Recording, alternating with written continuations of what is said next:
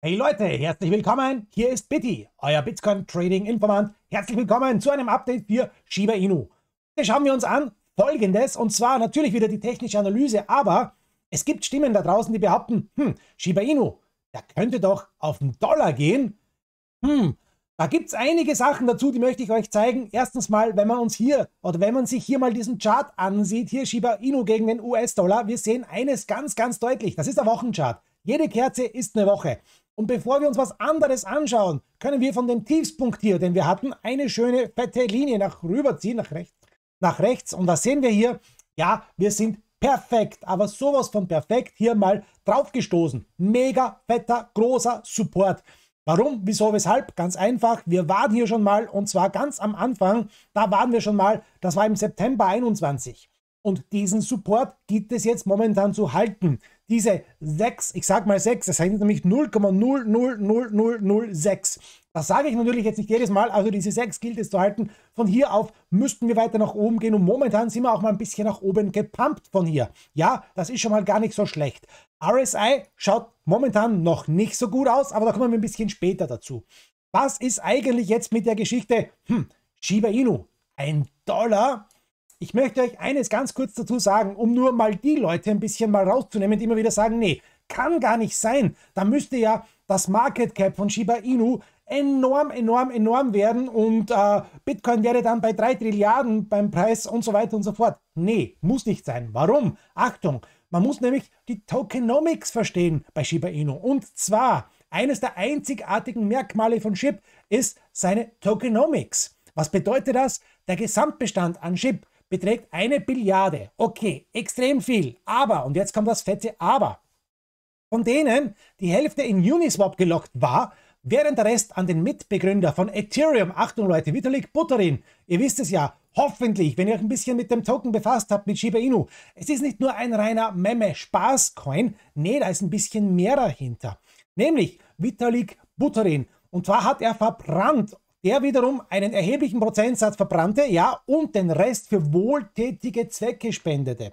Dieses Element des Verbrennens von Token hat eine deflationäre Wirkung und verringert die Anzahl der im Umlauf befindlichen Token, was theoretisch, theoretisch den Preis im Laufe der Zeit erhöhen könnte. Logisch. Desto weniger Token hier werden, desto mehr verbrannt werden, desto höher könnte theoretisch der Preis steigen. Warum dann nicht auch auf einen Dollar? Vielleicht gibt es mal nicht hier ganz so viele, vielleicht gibt es mal nicht eine Billiarde, vielleicht gibt es mal eine Milliarde oder vielleicht gibt es nur mal Millionen, so wie bei Bitcoin. Was wäre dann? Was wäre dann mit dem Kurs? So viel nur mal ganz kurz dazu. Und bevor wir jetzt zu unserer technischen Analyse kommen, natürlich noch etwas. Und zwar, was könnte uns noch ein bisschen helfen, hier das Ganze zu beschleunigen? Und zwar das hier. Mehrere Faktoren könnten als Katalysatoren für das Wachstum von Chip wirken. Die eigene dezentrale Börse ShipSwap könnte nämlich einen Preisanstieg auslösen, genau wie bei PancakeSwap beim Cake Token. Darüber hinaus hat die Notierung von Chip an großen Börsen wie Binance und Huobi zu einer deutlichen Steigerung der Sichtbarkeit und Liquidität geführt. Sollte sich dieser Trend fortsetzen und Chip auch auf andere durchführenden oder anderen durchführenden Plattformen gelistet werden, dann könnte dies für weitere Marktdynamik sorgen und das könnte auch wieder den Preis ein bisschen nach oben bewegen. Aber von einem Dollar sind wir wirklich weit, weit, weit weg. Trotz allem, schauen wir uns das jetzt mal kurz an. Hier ist die Shiba Inu Analyse. Was geht ab bei TradingView? Wie gesagt, wir sind unten angelangt. Mega, mega fetter Support bei 6. Äh, wir sind jetzt wieder hochgeschossen, ein bisschen auf 7. Ihr seht es schon, 7,6 momentan. Ja, hochgeschossen. Hm. Naja, wir sind ein bisschen nach oben gegangen, sagen wir mal so. Äh, RSI. Warum schaut der RSI momentan gar nicht mal so gut aus? Erstens mal, wir waren im Wochenchart noch nicht überverkauft. Wir waren schon weit unten hier bei 33 Punkten. Ihr wisst, alles unter 30 Punkten ist überverkauft. Da waren wir noch nicht. Was sehen wir? Wir sehen hier diese gelbe Linie nach unten kommen, ist unsere Durchschnittslinie.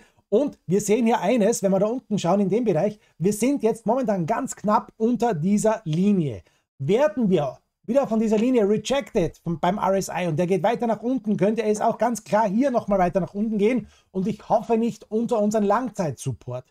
Wenn wir aber diese gelbe Linie endlich schlagen könnten und rüberbrechen könnten, nach oben durchbrechen könnten, könnte das hier ein schöner Ausbruch nach oben werden. Und wo, wo ist dann das nächste Ziel? Wo ist dann der nächste Punkt, auf den wir achten müssen? Und wir bleiben noch ein bisschen im Wochenchart, schauen uns das Ganze mal ein bisschen genauer an. Und ihr seht auch schon, wo jetzt momentan wieder so ein bisschen ein Problem ist, nämlich ganz klar hier. Wir haben hier ein kleines Problem. Machen wir mal rot die Linie. Das ist nämlich unser fetter Widerstand und da schaffen wir es momentan nicht so richtig drüber. Wir hatten schon die geschlossene Kerze wieder nach unten durch. Wieder tief Luft geholt, langer doch nach unten und jetzt kämpfen wir momentan unter diesem Punkt. Warum dieser Punkt? Ihr seht es auch ganz einfach im Wochenchart. Wir waren hier bei dem Punkt schon mal und das ist jetzt natürlich der nächste große fette Widerstand. 7, 8, 7,8 könnten wir eigentlich sagen, das ist der nächste große fette Widerstand, die Resistance. Und die gilt es hier bestätigt im Wochenchart nach oben zu durchbrechen. Jetzt noch mal ein bisschen Luft holen, dann bestätigt nach weiter oben ausbrechen.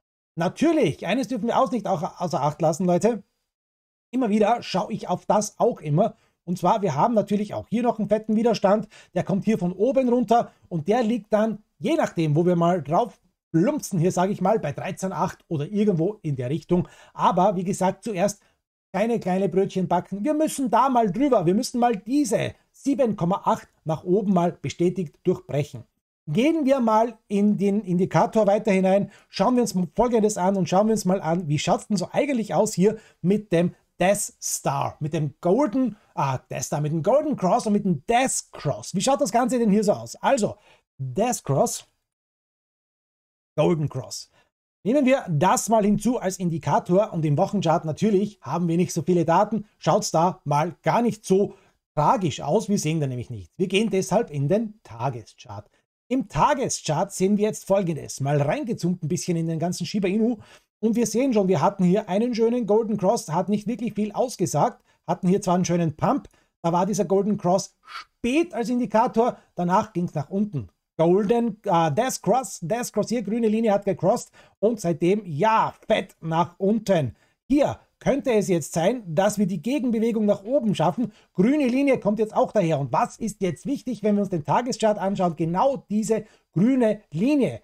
Warum? Die ist nämlich jetzt momentan ein richtig fetter Widerstand hier. Ihr seht, es kommt von oben runter. Wir haben versucht, da drüber zu kommen. Langer Docht nach oben, immer ein schlechtes Zeichen und danach wieder nach unten geplumpst. Jetzt ein paar kleine Dochte nach unten und der Versuch hier wieder nach oben zu kommen. Nicht ganz so viel Volumen, aber okay, könnte sein, dass wir es schaffen.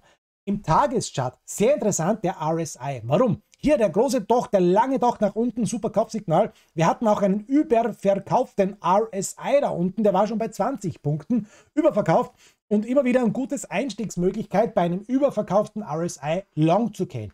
Keine technische Beratung, aber, ach, keine finanzielle Beratung, technische schon, keine finanzielle Beratung, aber das war ein gutes Long-Signal. Wir haben auch unsere Durchschnittslinie nach oben hin gecrossed. Ihr seht es hier ganz gut. Und ja, danach geht es schön nach oben. Hier ein kleiner Fake nach unten. Wir sind momentan im Tageschart wieder über der Durchschnittslinie. Aber RSI über der Durchschnittslinie und bei unserem Golden Cross Death Cross Indikator unter der grünen Linie. Für alle, die es gerne ein bisschen technisch genauer hätten, grüne Linie, was laberst du denn da immer? Grüne Linie ist die 50er SMA Durchschnittslinie, rote Linie da oben ist die 200er, sprechen wir aber noch nicht davon, ist momentan auch nicht so wichtig.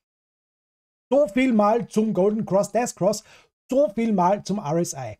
Holen wir uns noch dazu den Moving Average, auch den schauen wir uns an, denn der ist im Tageschart momentan noch gut. Wir sind mit der blauen Linie drüber über der braunen und wir haben nach wie vor grüne Balken, alles gut. Schauen wir mal kurz hinein in den Wochenchart und im Wochenchart gehen wir auch mit dem MACD nach oben. Ganz schön hier zu sehen, noch kein Cross. Achtung, wir haben noch immer die blaue Linie unter der braunen. Wir brauchen sie darüber und wir haben noch rote Balken, aber eben schon hellrote Kerzen.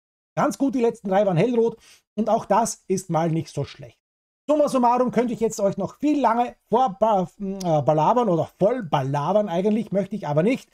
So viel ist mal zu sagen, wir müssen die 7,8 nach oben hin durchstoßen. Erst dann könnte das Ganze weiter nach oben gehen. Ansonsten ist noch immer große, große Gefahr hier, dass wir nochmal runtergehen auf einen Triple Bottom, möglicherweise hier sogar einen Double Bottom hatten wir jetzt schon, was eigentlich immer ein gutes Zeichen wäre. Double Bottom könnte genauso auch bedeuten, wir haben hier ein W-Pattern, könnte hier so ausschauen und von hier wieder nach oben.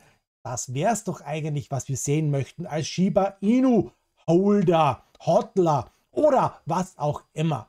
Also Leute, viele Fantastereien da draußen, viele Leute sagen, ja, Shiba Inu geht drauf auf den Dollar, möchten natürlich viele haben, denn wenn man nur eine Million Shiba Inu Coins hat, ist es nicht viel in Dollar, äh, 20 oder was auch immer, aber man könnte Millionär werden. Der Glaube ist hier meistens Wunsch des Gedankens, aber warum denn nicht? Lasst uns doch auch mal ein bisschen optimistisch sein.